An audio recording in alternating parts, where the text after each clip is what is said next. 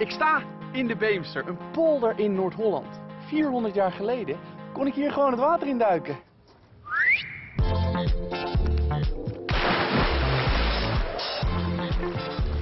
In 1600 is de Beemster namelijk nog een enorm meer van wel 14.000 voetbalvelden groot. Een bekend gezegde is, God schiep de wereld, maar Nederlanders maakten hun eigen Nederland. Zo zou Nederland eruit hebben gezien als we er helemaal niks aan hadden gedaan. Kijk, heel veel water, grote meren en geen Flevoland. En dit is wat we ervan hebben gemaakt.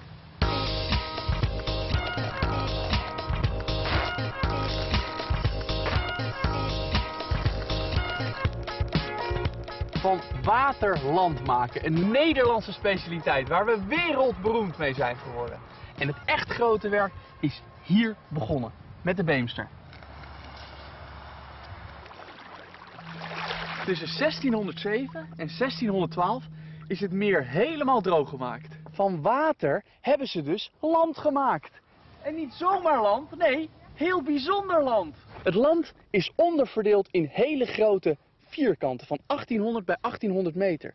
Die zijn weer onderverdeeld in kleine vierkanten en die op hun beurt zijn weer verdeeld in rechthoekige kavels. En dan kun je dat op deze kaart natuurlijk goed zien. Maar vanuit de lucht zie je het nog veel beter. En dat is precies wat ik nu ga doen.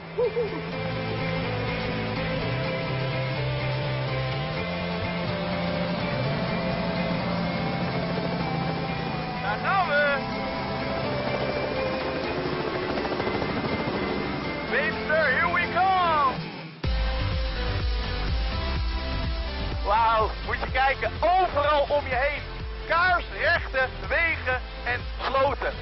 Dit landschap is echt bijzonder. Daarom staat het ook op de werelderfgoedlijst van UNESCO.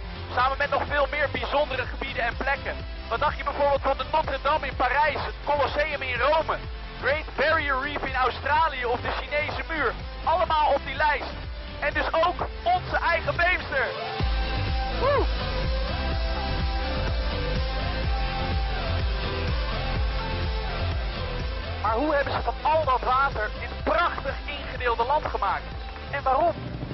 belangrijkste reden voor het droogleggen van de Beemster is het gevaar van het water. De overstromingen van het Beemstermeer bedreigden mens en dier. Er moest worden ingegrepen. Daar is een hoop geld voor nodig. Maar laat dat er in de 17e eeuw nou meer dan genoeg zijn.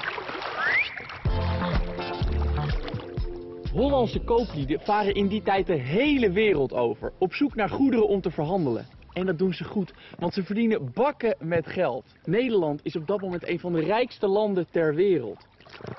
De rijke kooplieden zochten naar goede investeringen om nog meer geld te verdienen.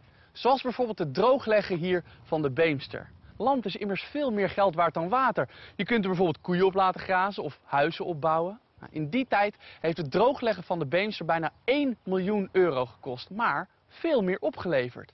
De rijken werden nog rijker en kregen de smaak te pakken. Ze gingen aan de slag met meren als de Schermer hier en de Purmer en ga zo maar door. Van water land maken, prachtig. Zo'n drooggemaakt stuk land, zoals hier het Schermermeer, noem je trouwens een polder. Maar hoe hebben ze dat toch voor elkaar gekregen? Met oer-Hollandse molens. Die pompen al het water uit het meer. Maar ja, dat water moet natuurlijk wel ergens naartoe. En daarom wordt er om het meer een ringvaart gegraven. Vanaf hier kun je de ringvaart heel mooi zien liggen.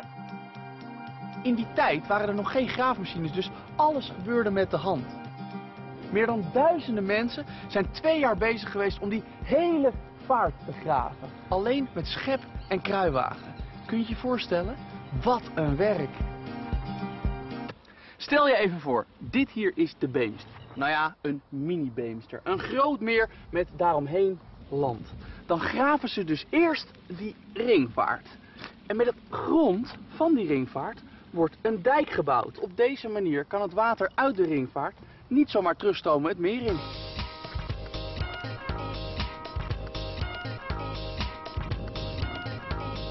De ringvaart en de dijk zijn klaar. Nu kan het water worden weggepompt. Helaas zijn alle poldermolens uit de Beemster verdwenen. Hier in het gebied dat na de Beemster werd leeggepompt, de Schermer, staan de molens nog wel. Als het waait, brengen de draaiende wieken een scheprad, of in dit geval een vijzel, in beweging. En kan de molen het water gaan verplaatsen. Van laag voor de molen naar hoog achter de molen. Eén zo'n molen kan het water van anderhalve meter diep droogpompen. Dat betekent dat je voor het Beemstermeer, wat 4,5 meter diep is, drie molens nodig hebt. Drie keer anderhalf is 4,5. De eerste molen staat aan de oever van het meer en haalt de eerste anderhalve meter water eruit. Dat water gaat naar de ringvaart. Het waterpeil is nu anderhalve meter gezakt. Tijd voor molen 2. Van molen 2 gaat het nu naar molen 1. En die maalt het weer de ringvaart in. Ringvaart 2. 1. Ringvaart. Ja, we zijn er. 3 meter is weg. Tijd nu voor molen 3. Van molen 3 naar molen 2. Naar molen 1. De ringvaart in. Deze drie molens achter elkaar noem je een molengang. Om een groot meer als de Beemster leeg te pompen heb je meerdere molengangen naast elkaar nodig.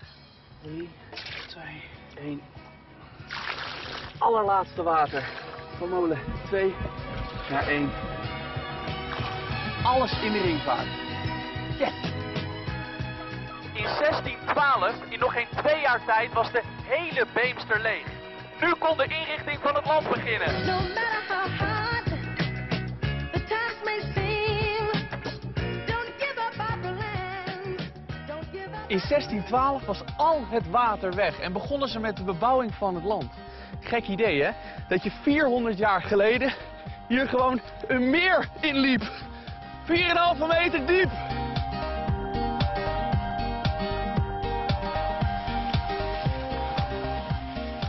De grond, een soort zeeklei, blijkt ontzettend vruchtbaar te zijn. Ideaal voor landbouw of veeteelt. En het komt goed uit, want in die tijd groeien de steden snel en is er veel voedsel nodig. Dat smaakt naar meer. En ze gaan aan de slag met het leegpompen hier van de schermer. En daar is vooral één man heel erg blij mee. Jan Adriaanszoon Leegwater. Bij het leegpompen van de Beemster was hij nog verantwoordelijk voor de bouw en het plaatsen van de molens. Bij het leegpompen hier van de Schermer wordt hij verantwoordelijk voor het hele project.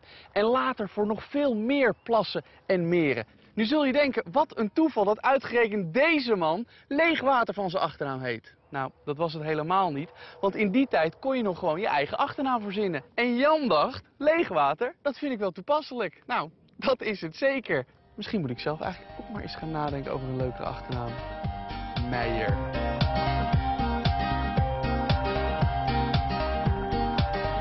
Hallo koeien, hallo geitjes.